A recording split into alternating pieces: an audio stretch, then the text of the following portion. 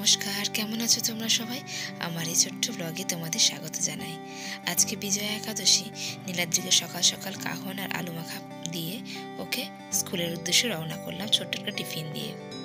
এখন স্কুলে টেস্ট চলছে তো, তার জন্য ওদের বারোটার মধ্যে ছুটি হয়ে যায়, তাই খুব ভারী কিছু টিফিন দিই না, হালকা একটু টিফিন দিয়ে ছেড়ে দিই।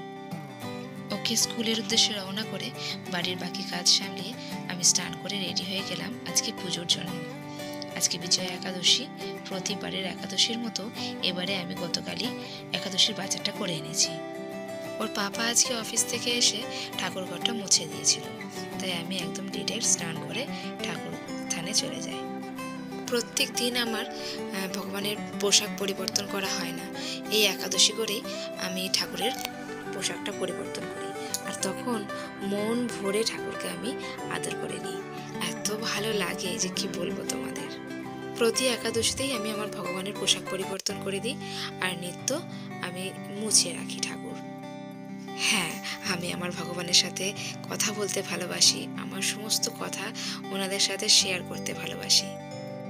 জানি না এটা কে কী হিসাবে দেখবে, কিন্তু এটা আমার একদম অন্তর থেকে আসে, আমি অন্তর থেকে শান্তি পাই।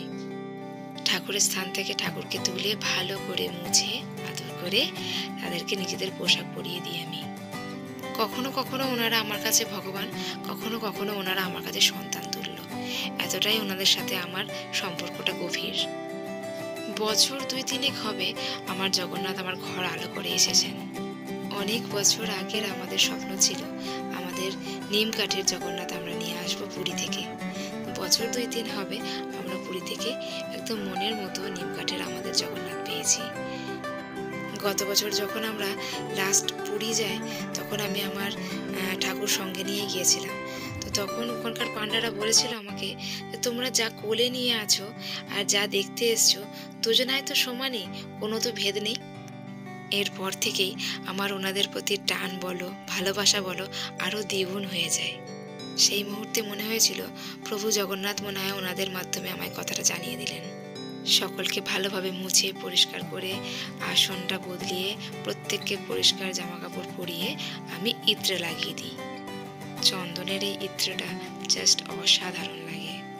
তারপর সকালে একটু সব রকমের ড্রাই ফ্রুটস দিয়ে ঠাকুরের ভোগ লাগিয়ে দিই। একটু বেলা গেলে বাজার থেকে ফুল আর মালা নিয়ে চলে আসি। আমার সকল ঠাকুরকে, আমার ভগবানকে সুন্দর করে মালা পরিয়ে, সিংহাসনটা সুন্দর করে সাজিয়ে, ঠাকুরকে ফুল অর্পণ করে আজকের পুজোটা করি। মন্দির সাজানোর পর আরতির থালা রেডি করি। আরতি করে ঠাকুরকে মনন করে, জপ করে আমি আজকের পুজোটা সারি। এরপর ঠাকুরকে ফলের সেবা দিই। আর এই দুপুর বেলাকার ভগবানের এই সেবাই হচ্ছে আমার আহার। তোমরা সবাই জানো বাঙালিদের কত রকমের উপবাস, কত রকমের মহাব্রত আছে। তবে একাদশীর মহাব্রত হচ্ছে সব থেকে বড়। এই যে, ঠাকুরের প্রসাদ আমি পেয়ে গেছি। এটাই হবে আজকের আমার আহার। বিকেল বিকেলই বেরিয়ে পড়তে হচ্ছে মলে। কারণ তোমরা সকলেই জানো, দশ তারিখে আমাদের মলের প্রোগ্রাম খুব তাড়াতাড়ি আসতে চলেছে সেটা। তার জন্য একদমই আমি খুব একটা সময়ই পাচ্ছি না ব্লগ বানানোর তার উপর আছে নীলাদ্রির এক্সাম সব মিলিয়ে আজকের ব্লগটা কেমন হলো অবশ্যই জানিও। জয় জগন্নাথ।